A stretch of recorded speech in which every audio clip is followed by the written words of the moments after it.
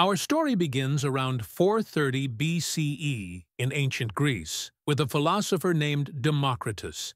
He believed that everything in the universe is made of tiny invisible particles that he called atoms.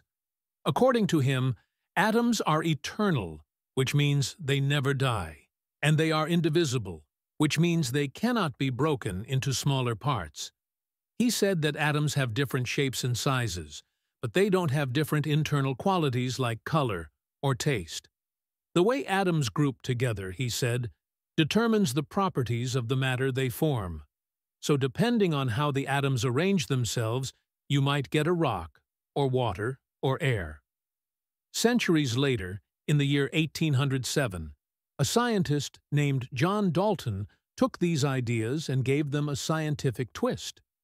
Dalton said that atoms are like tiny, solid spheres that cannot be broken down. He believed that all atoms of the same element are exactly alike, and atoms of different elements are different. For example, a pure sample of gold from a riverbed in California would have atoms with the exact same mass and chemical properties as a pure sample of gold from a mine in South Africa. Conversely, a gold atom is distinctly different from a carbon atom. They have different masses, different sizes, and different chemical properties. He also said that atoms join together in fixed and definite ratios to form compounds. For example, water is always made of two hydrogen atoms and one oxygen atom. Dalton's model gave us a very solid start in the world of chemistry. Then, in the year 1904, Sir J. J. Thomson entered the picture.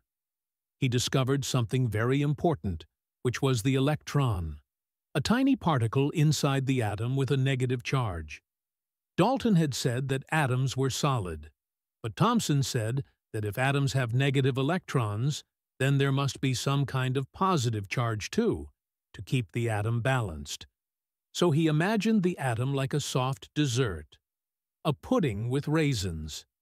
The positive charge was like the soft pudding, and the negative electrons were like little raisins stuck inside. This model was called the plum pudding model.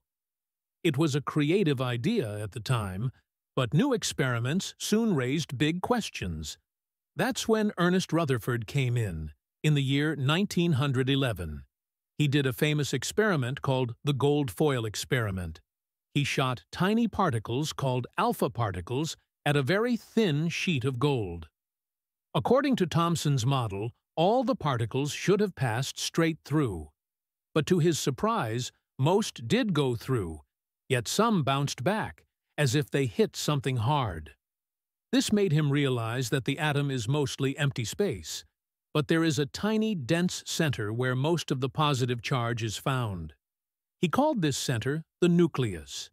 This changed everything.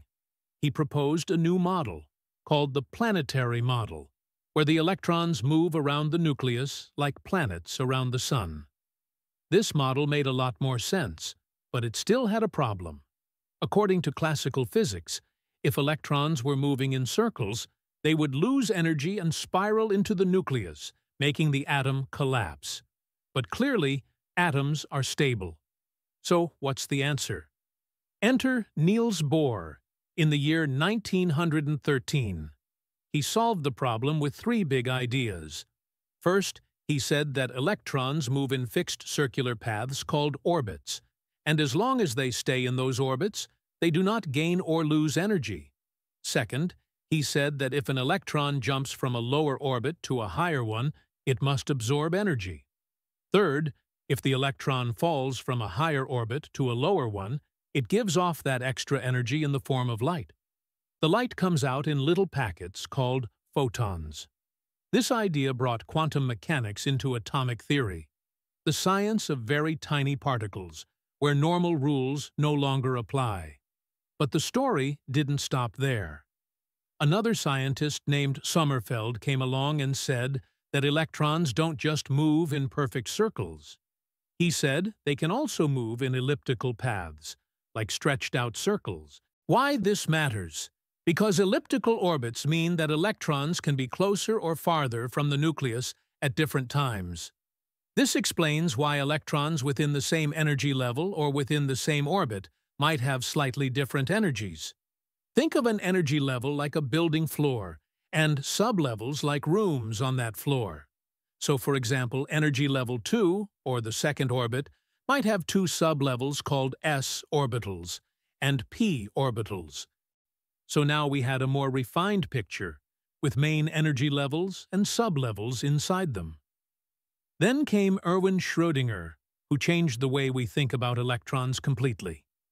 He said we shouldn't think of electrons as little balls spinning in circles. Instead, we should think of them as waves. He used complex mathematics to describe the behavior of electrons as wave functions. His model did not talk about exact positions, but about where an electron is most likely to be found.